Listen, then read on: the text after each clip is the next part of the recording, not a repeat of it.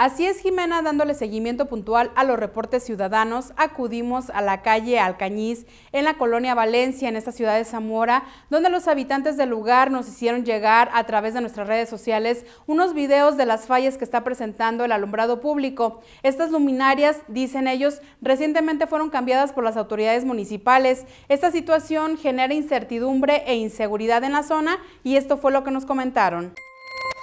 Sí, están un poco bajas como la de acá de a media cuadra, esa está fallando. No, no, no se ve. Sí, mucho peligro. Ya ve cómo está la cosa ahorita.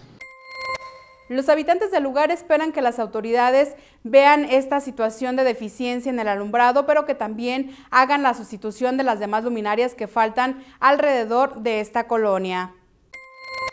Llega más luz pues porque aquí está muy peligroso y, esto está muy bien lo que están haciendo. Nada más que pues todavía les faltan varias, así como para qué lado. Este está muy oscuro.